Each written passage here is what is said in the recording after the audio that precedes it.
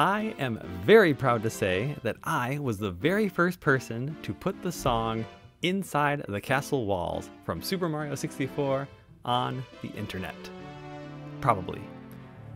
I still remember the first time I heard a clip of this song. It was in a little video clip that I downloaded in 1996.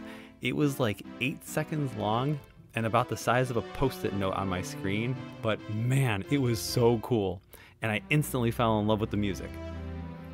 Uh, the internet was a different place back in 1996, so this was before YouTube, uh, before Gmail, this was even before the Google search engine officially launched. The average number of computers in people's homes was between 0 and 1, and if you had an internet connection, it was so slow. Actual recordings of music were enormous, and even the smallest music recordings would take hours to download. So instead, people like me downloaded and listened to MIDI files.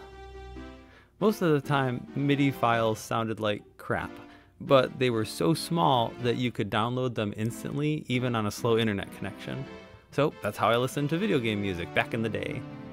Now, I didn't get a Nintendo 64.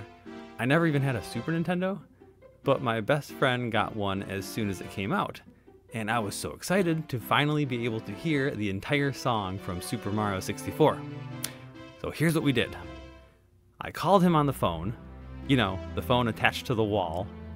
He held his phone up to his TV speakers, and I held a microphone up to my phone and recorded it. The audio quality, as expected, was terrible. I then took that recording I listened to it over and over again, and I used it to create a MIDI file of the song. Now, MIDI files don't just get recorded from like a microphone. Instead, I listened to the recording and I slowly typed in every note by hand. And when I was all finished, I had the song. I submitted it to the most popular website that hosted video game MIDI music files, vgmusic.com. And that's the story of how I was the first person to put the song Inside the Castle Walls from Super Mario 64 on the internet. Over the years, I was beginning to question my memory though. I couldn't find the MIDI file that I submitted. There was Inside the Castle Walls version 2 and version 3, posted by other people, but not mine. So I went to the Internet Archive and looked up a copy of the website from May 2000, and there it was with my name and everything. Inside the Castle Walls, version 1, from 1996. The file itself even had my name and original email address still in it. It was fun finally hearing it again. So, how does it sound? It's fine. It's not perfect, but I loved listening to it back then.